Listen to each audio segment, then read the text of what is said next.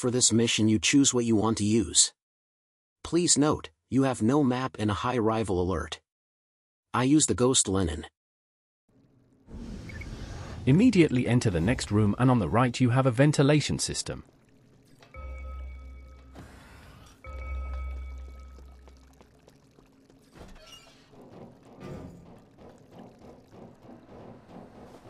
When you come out of the door, head towards the hallway to the right.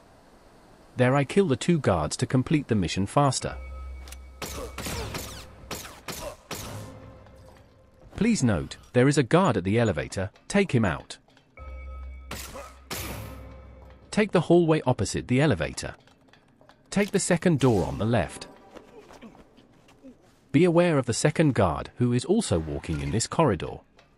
The guard at the aquarium can leave you alone.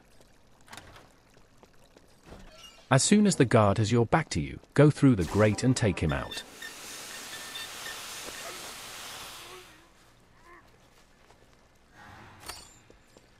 Open the door.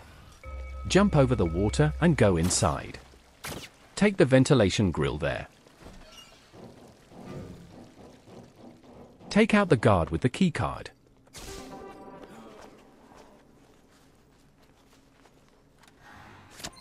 Exit through the door and immediately turn right towards the elevator.